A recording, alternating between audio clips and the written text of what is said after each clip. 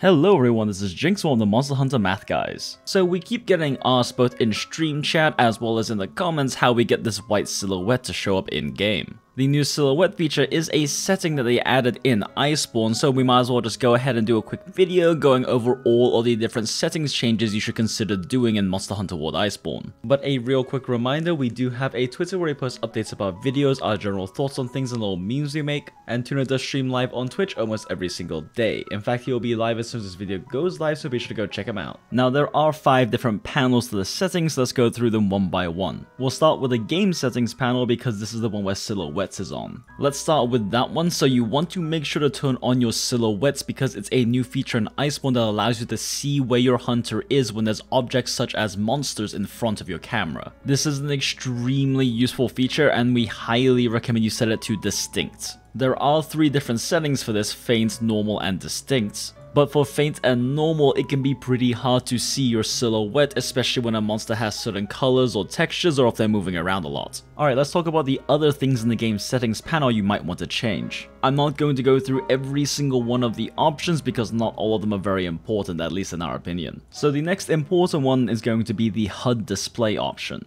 In Iceborne, you have the option to turn on or off pretty much every single UI element on your screen. However, all of these are pretty critical bits of information you probably want to keep except for the button guide. The button guide is a thing in the top right that tells you what possible buttons you can press next to combo from your current animation, but if you are very familiar with your weapon, you probably don't need that on screen. Pretty much everything else feels pretty essential to me. You can maybe remove the scout fly notifications if you really don't care about any tracks ever, but with the endgame Guiding Lands, you kind of need to. You could also maybe turn off the objectives, but it is nice to know when you break apart on a monster. Alright, next is health and stamina gauge settings. These by default are on dynamic, but I personally change them to fixed. So what the default setting of dynamic does is that when you're outside of combat, it hides your health and stamina gauges. Now, I don't personally like this because say a monster transitions to a new area and I'm sprinting to chase after it, once I re-engage, I don't know how much stamina I have until the fight officially starts, so I don't know if I can immediately clutch claw or not. Having it set to fixed allows you to have that information all the time, which I prefer.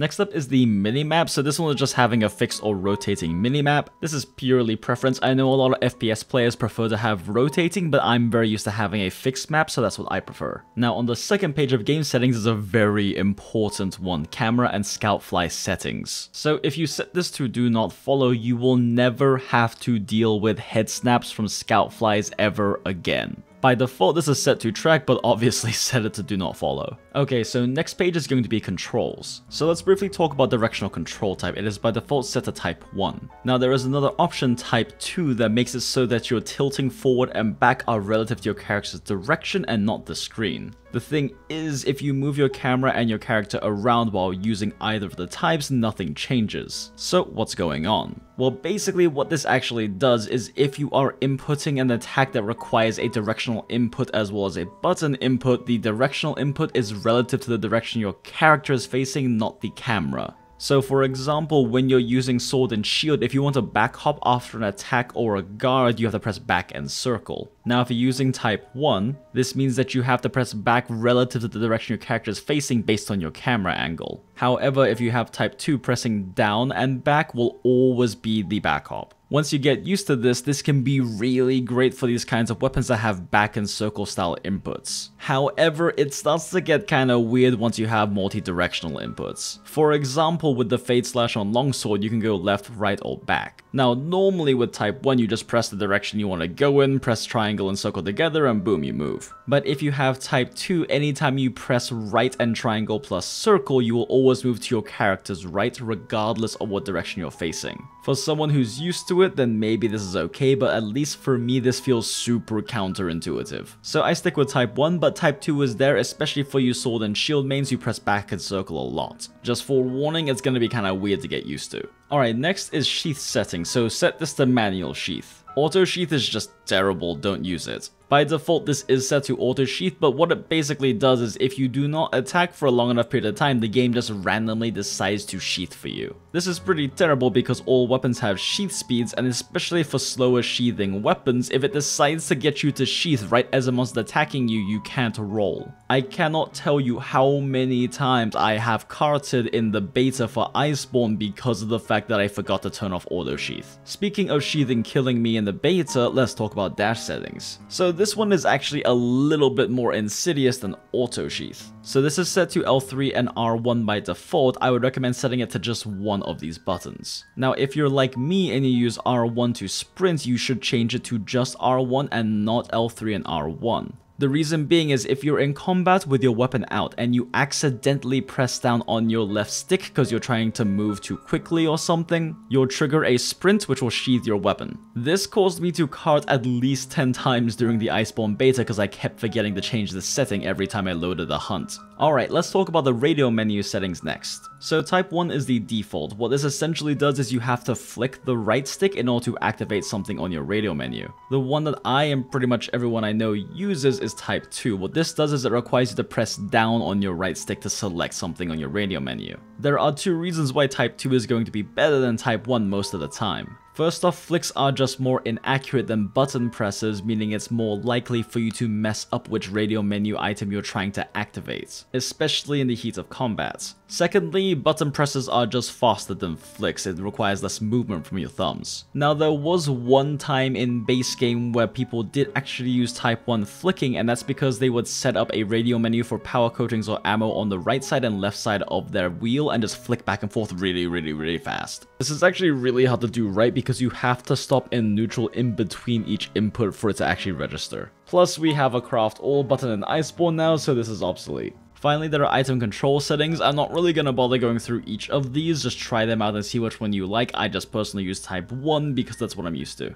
Alright, next up we have the camera panel. First off, there is camera speed and reticle speed. Camera speed is basically how quickly you just move around your camera when you're looking around. I have mine set to super fast so I can flick faster and 180 faster, but that's really up to you. However, I would recommend getting used to either fast or very fast. The reason is, is there are a lot of Kelbi style monsters in Master Rank that'll be hopping all around you constantly and it's hard to keep up with them unless you have a fast camera speed. Reticle speed is exactly the same thing as camera speed except for it's for when you're aiming either a bowgun bow or slinger, use whatever you're comfortable with, but the higher the better. Next up is the reticle direction. I don't remember what the default is, but set this to camera's direction. Basically, when you press L2 to either aim your slinger, your bowgun, or your bow, this determines which direction the reticle will be facing once you do so. If it's set to camera's direction, it just aims at where your camera is pointed, which makes the most sense intuitively. If it's set to character's direction, then you will instead snap to the direction your character is facing and aim over there. This means if you want to aim your weapon, your slinger, or your clutch claw at a monster, you have to stop strafing and then turn to face them before you aim if you want to actually be aiming at them. Not recommended. Next up is aim assist. I do recommend turning this on because it basically just slows down your reticle sensitivity when you're aiming over a monster part.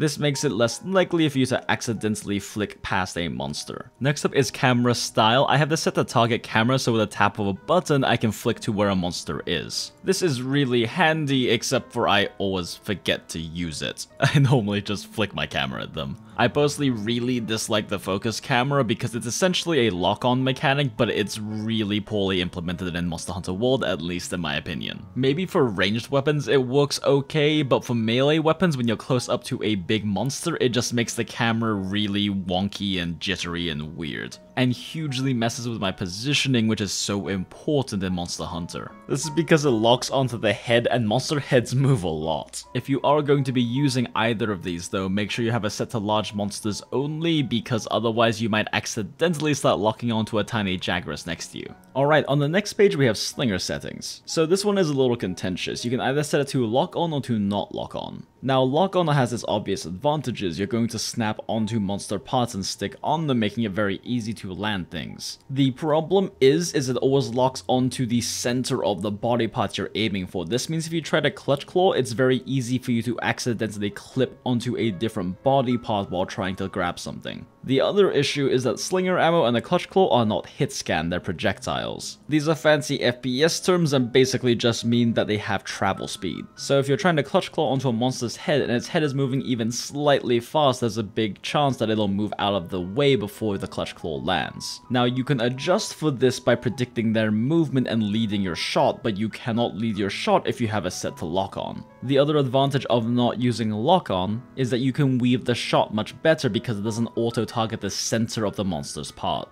This lets you avoid accidentally hitting wings or legs or arms when you're aiming for the head with a clutch claw for example. Up to you which one you want to use, but not using lock-on does have its advantages if you're willing to get past the learning curve. Now the last one on this panel we'll talk about is the camera distance. I just have this set to far. Now the difference between the close to normal and the far is not that big, but monsters in this game get really really big and they can get all up in your face too. The bigger your field of view is and the more of the monster you can see, the easier time you have of telling what the hell they're doing. Alright, the next panel is display, and pretty much the only one we care about here is the graphics setting. I highly recommend just setting this to prioritize frame rate because a more stable frame rate is better. The other two options may make your game look a little bit prettier, but monsters give you very tight windows to dodge things in this game because you have very little iframes. The more information you can get by having more frames per second, the more able you are to dodge things. Also, I'll be honest, I can't even tell the difference when I set it to prioritize graphics. Alright, the final settings panel here is going to be for audio. Now, I dodge things primarily from audio cues, so I like to have the sound effects volume turned up much higher than the voice and background music. But all of this is really preference, however for dynamic range I highly recommend you set it to wide range. What this essentially does is it changes how big the difference is between small sounds and big sounds. Now the wider this range is, the more information your brain has to figure out where things are positioned relative to you, how far away they are, etc. So personally I recommend setting it to that. Alright, those are all the settings we think you should be looking at changing in Monster Hunter World Iceborne. As always, thank you so much for checking out the video. If you have any friends who are not yet using the new silhouette feature in Iceborne, be sure to share the video with them. And if this video taught you a new setting you'd like to tweak, be sure to let us know by liking the video and letting us know what setting in the comments below. Thank you as always to Honey over at honeyhunterworld.com for creating and maintaining the tools we use to make sets with. And if you'd like to find hunters to hunt with of all different skill levels or just want to come chat, be sure to check out our Discord server, the Mathalos Nest. Just please be sure to keep all Iceborne related talk to the Iceborne specific channels so our PC players can avoid spoilers. And don't forget we do have a Twitter where we post updates about videos and various things that interest us, and Tuna does stream live on Twitch almost every single day. In fact, as soon as this video comes out, he will also be live, so be sure to come hang out. And of course, none of this would be possible without the generosity of our patrons. And an especially big thank you to our new patron Matthew Gordon. Your support to us really does mean the world, so thank you all so much again. Also, a reminder that we do have a poll currently going on the Patreon for the next meta video for Iceborne. Letting the patrons determine the next meta video is one of the ways we like to show our thanks. Alright, we do have a lot more Iceborne content on the way for you guys, so be sure to subscribe and hit the notification bell and that way you will know about our content as soon as it comes live on YouTube. Happy hunting hunters, we'll see you in the next one, bye! Alright, that is all we have for this one. I'm tired.